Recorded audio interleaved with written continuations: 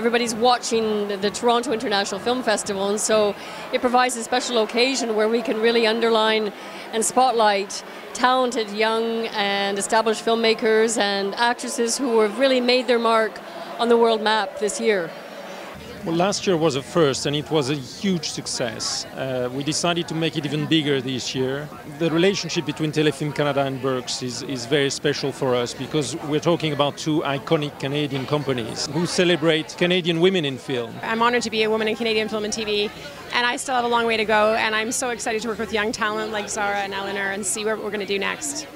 I'm really happy to see that big companies like Birks and also Telefilm are taking care of the women, the women that they are in the industry and giving us the chance to touch the screen. There's a lot of women that are working in the film industry that don't get a lot of attention, so it's great to have an event that's actually all about giving them the their due. Not only just for women, but for women that are middle aged or older. It's the idea that we want to put real women up on the screens and show the real truth inside of it.